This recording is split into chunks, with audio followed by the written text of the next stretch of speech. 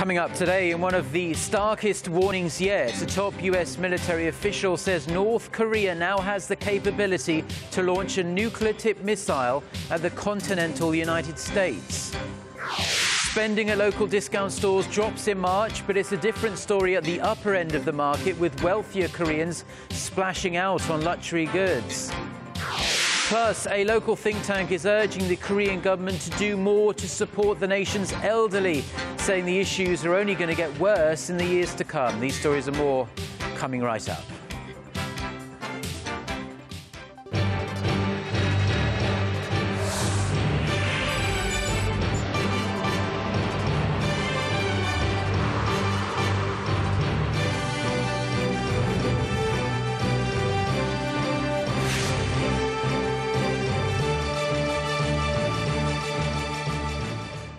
Hello, it's noon on Wednesday, the 8th of April. You're tuned in to our midday newscast here on Arirang TV. Thanks ever so much for joining us. I'm Mark Broome. We begin with North Korea's weapons capability. A senior U.S. military leader says Pyongyang now has the ability to road mobile ICBM capable of carrying nuclear weapons to the mainland United States. This as the U.S. defense chief visits Japan and South Korea this week to discuss regional security issues. Na Hyun-kyung reports.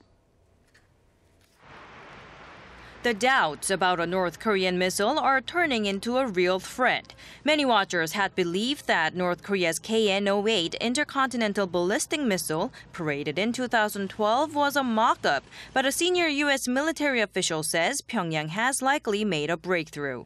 Our assessment is is that uh, they have the ability to put it on a nuclear weapon on a KN-08 and shoot it uh, uh, at the homeland.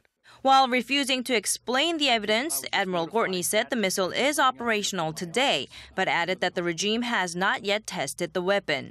The KN-08 could have a range of up to 9,000 kilometers, according to North Korea monitoring website 38 North, which means it could reach the U.S. mainland. The U.S. is known to have about 30 ground based interceptors on its west coast, but the fact that the KN-08 is a road mobile weapon is going to make it difficult for Washington to carry out a preemptive strike on the missile.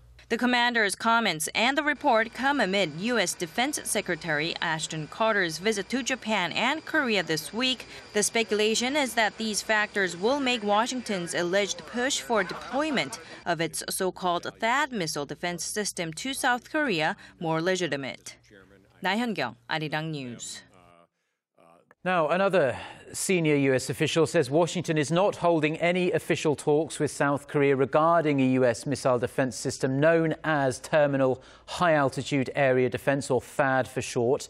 However, he did stress that THAAD is critical in defending the South against North Korea's ballistic missile threats. Son Jung-in reports. Frank Rose, U.S. Deputy Assistant Secretary of State for Arms Control, Verification and Compliance, has reiterated that no decision or official negotiations have been held with South Korea regarding the possible deployment of a THAAD battery to its soil. But Rose added that if they were to move in that direction, THAAD would be a critical capability in dealing with the threats posed by North Korea. Rose also stressed that the battery does not have any capability against China's strategic deterrent, rejecting the notion that such a deployment would pose a threat to China and Russia's security interests.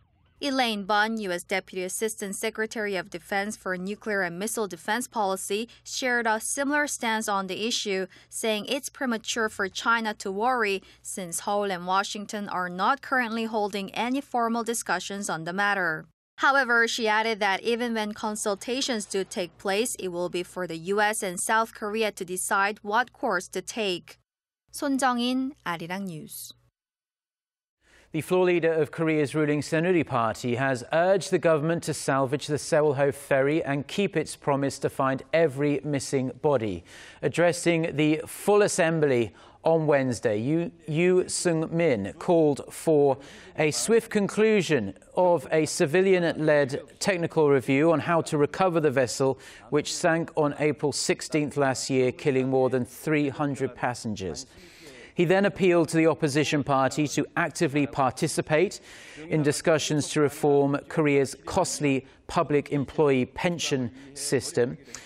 Referring to that uh, possible stationing of the controversial THAAD US anti missile system to South Korea, Yoo stressed that Seoul needs to display a strong deterrence against North Korea's security threats to achieve regional peace. The main opposition party's leader, Moon Jae-in, will address the assembly on Thursday.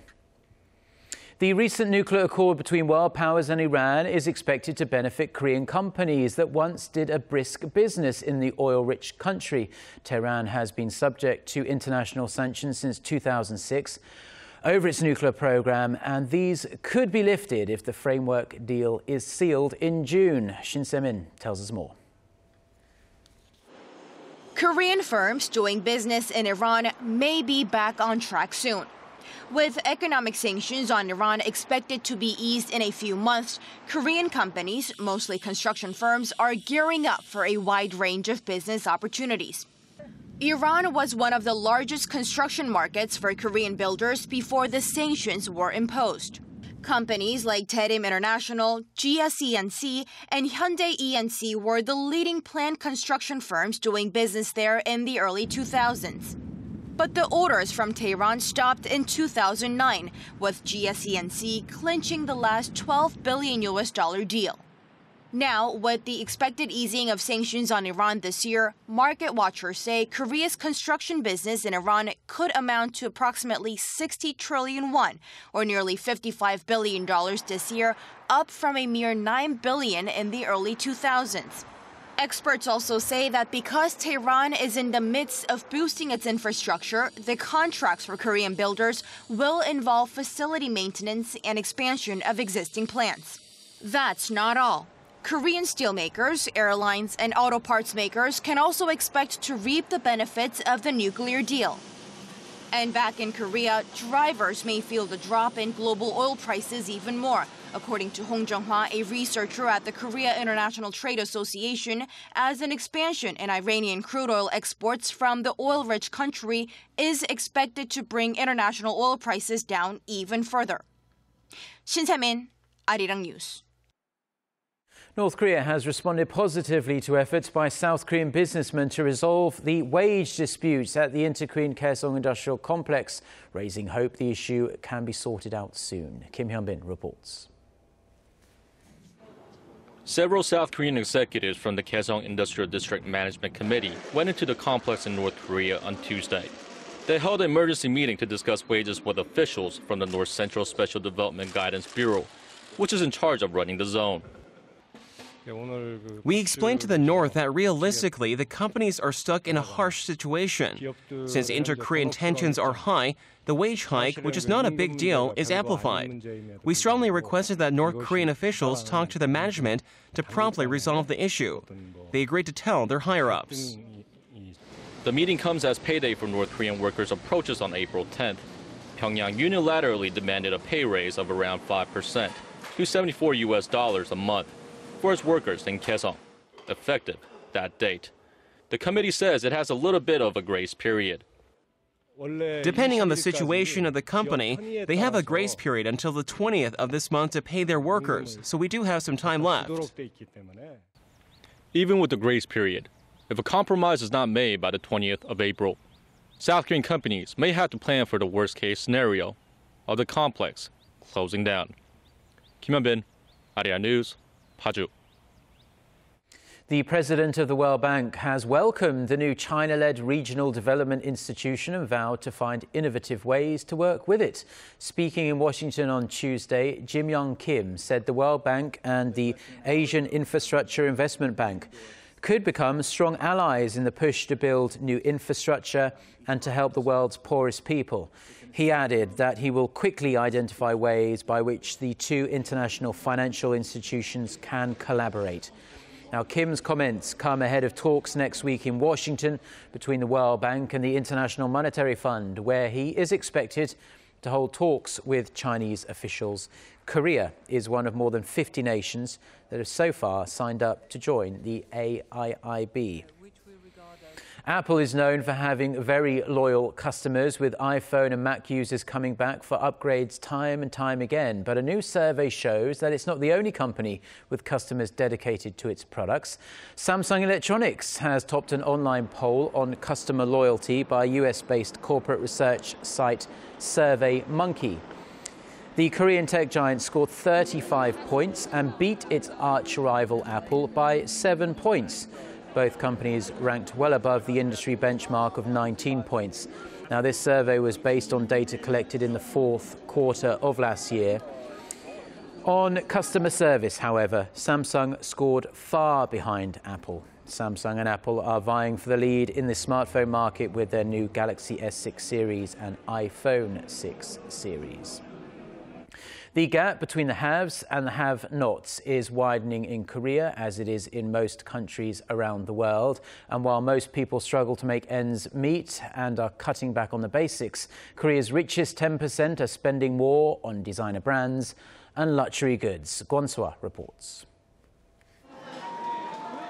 The polarization of spending habits in Korea is getting worse as the nation's low and mid income earners struggle to get by, while the rich continue to enjoy the good times despite the sluggish economy. Data released by the retail industry on Wednesday shows first quarter sales at large retailers, popular among consumers who tend to watch their pennies, mostly declined compared to one year ago. Lotte Mart, the second biggest retailer in the country, posted a 3% drop in sales, and Homeplus an almost 1% dip, while Emart, the nation's number one retailer, saw sales edge up a mere 0.8%. Breaking it down, Emart's fashion and grain sales in March both plunged by over 10% on year. Fisheries and processed food fell by 9 and 3% respectively.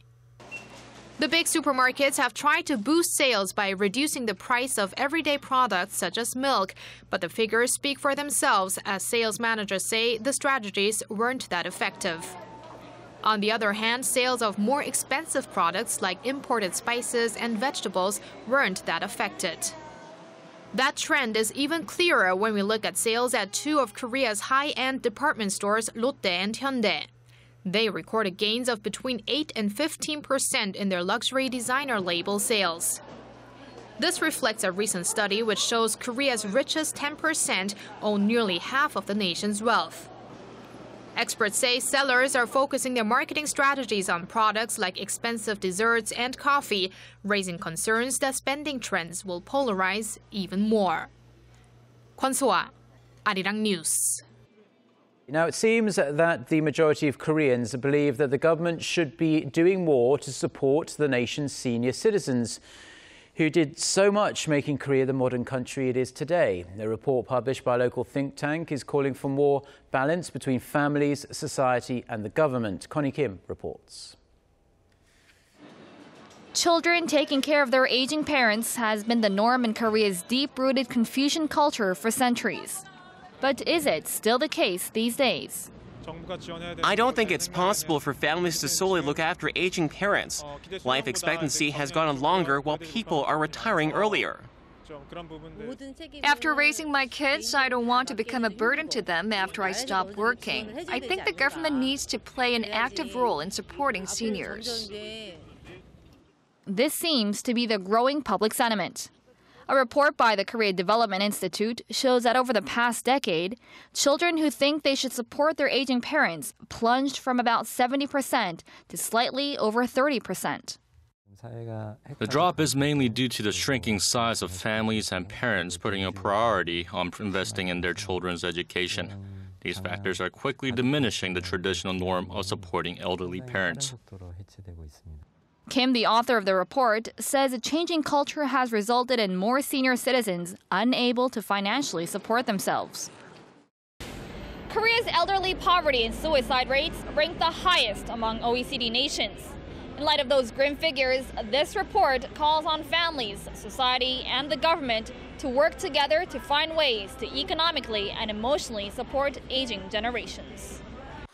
It also calls for the government to create a system that will revitalize the social well being of seniors. Some community welfare centers have programs that help engage the elderly and younger generations. But there needs to be more social workers and programs that aim to nurture active participation from the elderly population. While systematic support is key, experts also say it's necessary for individuals to do more to prepare for their senior years.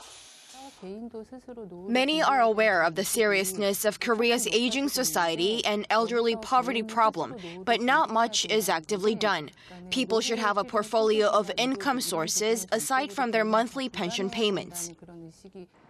Korea's welfare ministry says 3 out of 10 people over the age of 65 continue to work post retirement, mainly to support daily living costs.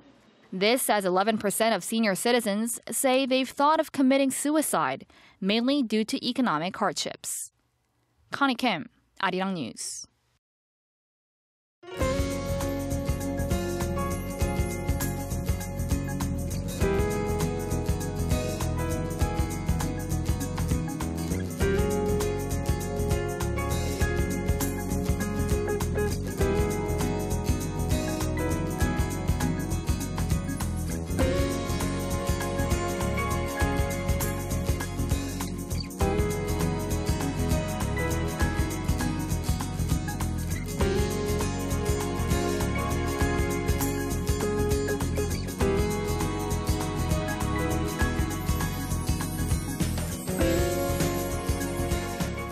Well, those are the stories we're following at this hour. I'm Mark Broome. Have a wonderful day, and thanks as always for watching. We do hope to see you at the same time tomorrow. Goodbye.